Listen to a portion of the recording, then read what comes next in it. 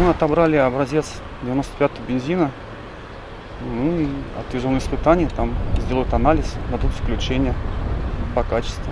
Мое личное мнение, ну, в основном везде нормальный бензин, то есть ну, очень маленький процент.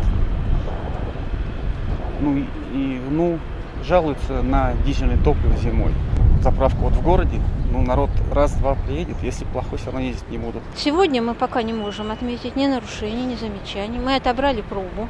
Она пойдет на испытание в аккредитованную испытательную лабораторию. Вот результаты испытаний, когда придут, тогда мы уже сможем сказать, соответствует она техническому регламенту, не соответствует. Мы планируем вот в этой организации провести 15 проверок на 15 ЭЗС, потому что организация большая, как бы мы ее не проверяли давно.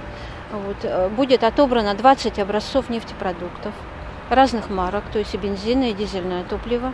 В течение пяти дней будут идти отборы. Через месяц будут, ну где-то через 20 дней, готовый результат.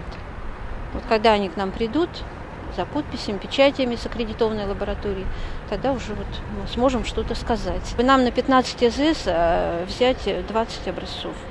Это плановая проверка у нас, план 20 образцов. На этой АЗС э, есть информация и э, на информационном стенде.